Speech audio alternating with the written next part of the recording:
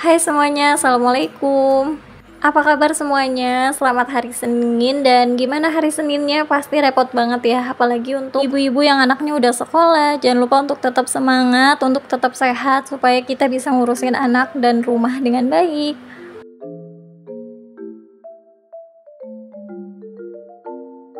Oke, di sini aku mau share kegiatan aku sebagai ibu rumah tangga ataupun rutinitas ibu rumah tangga sehari-hari di kontrakan tiga petak dengan dua bocil.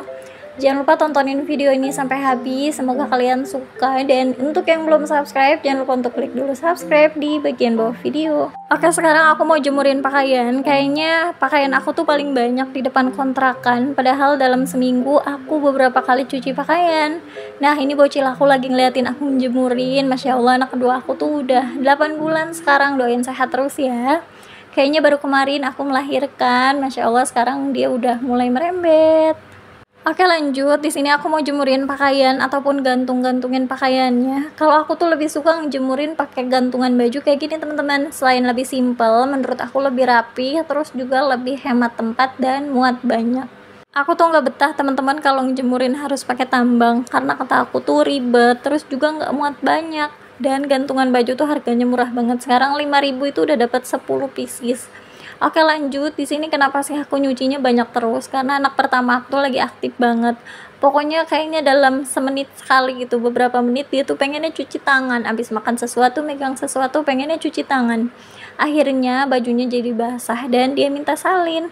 Daripada aku pusing ngedengerin dia pengen salin, ya udah aku biarin aja dia salin karena nanti kalau udah pastinya juga dia bakal terlewati. Oke lanjut, di sini aku mau beresin kasur. Pertama aku mau lipat mukena bekas aku sholat subuh. Terus aku mau taruh lemari aja karena ini tuh nggak basah. Dan di sini juga aku mau pindah-pindahin.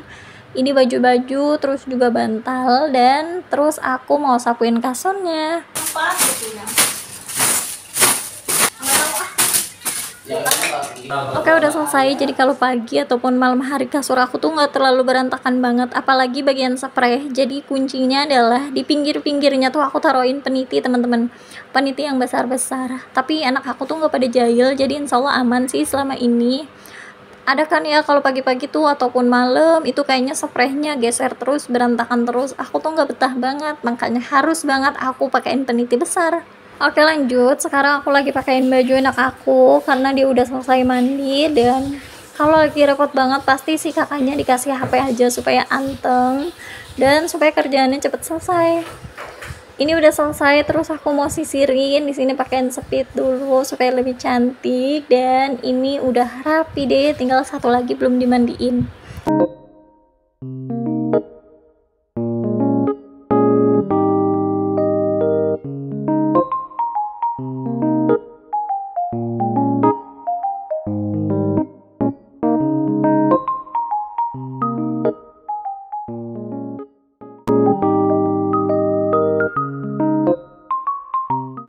Oke lanjut, sekarang aku mau masak. Ini mau bongkar dulu belanjaannya. Jadi tadi beli cabai sama bawang tuh 5000, terus beli bakso 7000, beli sayur sop 5000. Nah, ini juga beli ikan.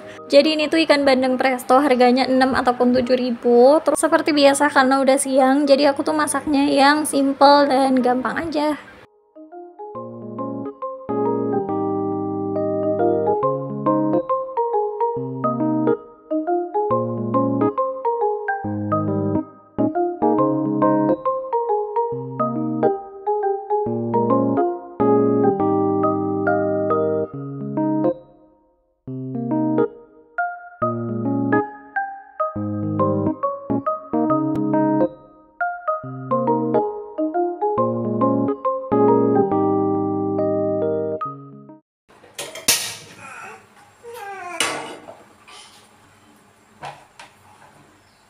Kalian ada masak apa hari ini teman-teman? Terus kalian masih tim yang suka kebingungan gak mau masak apa setiap harinya? Oke di sini aku udah ngidupin kompor lagi manasin minyak juga. Dan ini ceritanya aku tuh ngide untuk pakai tepung supaya ikannya tuh nggak meletup-letup gitu.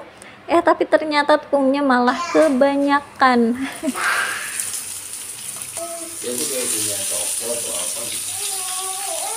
Ntar ya aku cari tahu ya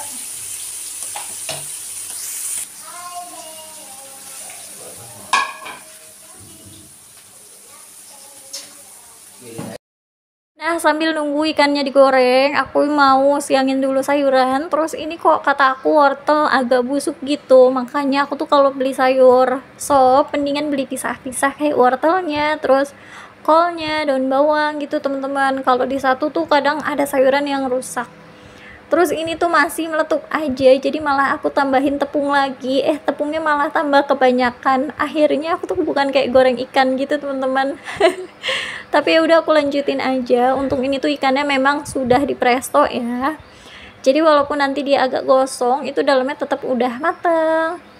Di sini aku mau siangin dulu ataupun kupasin dulu wortelnya. Ini dalam 5000 tuh seplastik dapat wortel satu kayak gini. Nah aku tuh sambil goreng ikan terus sambil siangin sayuran. Tapi aku kalau lagi makan aku kayaknya susah untuk sambil nonton sesuatu gitu teman-teman kayak sambil nonton TV ataupun nonton HP itu kayaknya kurang nikmat gitu teman-teman. Terus juga kalau misalkan aku tuh edit video ataupun isi suara itu lebih baik kayaknya sendirian malam hari gitu bakal lebih fokus daripada aku kalau siang-siang. Padahal anak aku tuh mainnya anteng gitu teman-teman lagi anteng. Tapi lebih baik akunya tuh malah main HP nggak tahu ngerjain apa aja gitu akunya nggak fokus nanti giliran anak-anak udah tidur malam harusnya aku tidur malah aku edit video atau malah main HP lagi atau malah aku beberes atau ngerjain sesuatu pokoknya kalau sendirian tuh kayaknya kita ngerjain sesuatu jadi lebih fokus gitu ya Terus ini tuh ikan aku udah mateng, walaupun ikannya kebanyakan tepung, tapi dalamnya tuh tetap mateng kok temen-temen. Dan ini tuh ikannya tetap enak, walaupun cuma aku goreng karena dari sananya tuh udah dibumbuin. Di sini aku potong-potong juga untuk buncisnya, jadi dapat buncis juga di dalam satu bungkus ini buncisnya tuh dapat tiga. Di sini ada nggak nih tim yang sayur asem? Kalau aku tuh bukan tim sayur asem teman-teman, karena selain anak aku tuh nggak bisa ikut makan, aku juga kurang suka dan masaknya tuh kayaknya ribet gitu. Oke lanjut di sini aku mau buang dulu sampahnya dan aku juga tadi ada beli bakso terus ini mau potong dulu untuk kolnya dapat sepotong kayak gini ya. Kenapa sih aku nggak upload tiap hari? Karena aku tuh ibu rumah tangga kadang repot kadang juga mood aku tuh berantakan. Jadi aku tuh kalau misalkan ngupload video ataupun edit video ataupun isi suara itu sesuai mood aku teman-teman. Nggak mungkin kalau aku siangan terus akunya repot apalagi akunya lagi perasaannya nggak enak gitu ya. Aku lanjut bikin video enggak teman-teman. Jadi kalau misalkan perasaan akunya lagi enak lagi seneng akunya nggak kerepotan banget baru aku tuh bisa edit video upload video gitu. Nah kayaknya itu deh yang nyebabin aku penontonnya tuh naik turun. Karena aku tuh nggak bisa konsisten teman-teman. Pokoknya aku tuh bukan tipe yang bisa konsisten ataupun bisa kerja di orang jadi ya semaunya aku aja gitu teman-teman. Kalau misalkan aku repot aku lagi capek aku nggak bikin video nggak edit video ataupun kalau aku lagi seneng lagi nggak capek lagi moodnya baik aku bikin video. Nah ini aku tuh udah selesai untuk iris-iris baksonya. Bakso yang merek ini tuh enak teman-teman. Walaupun harganya 1000 ataupun 2000 lebih mahal gitu. Tadi juga baksonya aku sisain untuk aku bikin mie ini lanjut. Aku mau bikin bumbu sopnya tuh lebih enak diulek daripada harus diiris-iris. Aku nguleknya di bawah ya. Alhamdulillah dapur akunya udah aku sapin udah aku pel. Jadi aku bikin videonya tuh lebih enak gitu teman-teman. Setelah selesai lanjut. Di sini aku mau ambil air dulu. Terus di sini aku mau hidupin kompor. Dan lanjut untuk menumis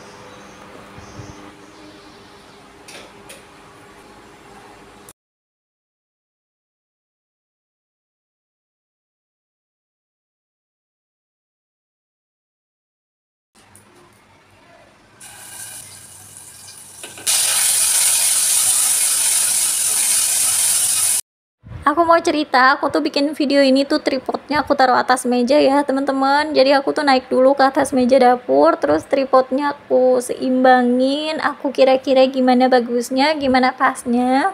Habis itu aku baru loncat lagi ke bawah. Kalau kalian nanya bikin video itu gampang apa susah? Menurut aku tuh sih gampang ya teman-teman kalau yang susah itu waktunya. Jadi kuncinya kalau mau penonton kita tuh banyak yaitu kita harus konsisten. Karena aku belum konsisten bikin video karena anak-anak aku juga masih kecil dan aku mengutamakan mereka. Makanya nih penonton aku tuh turun terus teman-teman. Jangan lupa untuk subscribe video ini supaya penonton aku tuh nggak pada turun setelah sayurnya mendidih terus sayur-sayurannya juga udah kayaknya setengah mateng baru aku masukin baksonya supaya baksonya tuh nggak terlalu besar dan nggak mangkak gitu teman-teman. Udah bikin meal plan dalam satu minggu mau masak apa aja. Tapi tetap aja kadang kesiangan kadang kerepotan terus sampai sekarang tuh nggak belanja-belanja sayuran dan belum ada stok di kulkas. Makanya setiap hari tuh kadang masak kadang enggak kadang juga masak yang simple-simple aja kayak gini ataupun uh, terakhir ya udah kita beli warteg aja. Ini udah selesai lanjutin ya. Aku mau masuk masukin ini sisa nah, jadi kemarin tuh banyak banget yang komen tentang kulkas aku, aku kenapa warna kulkas. merahnya diganti Waktu sama warna putih?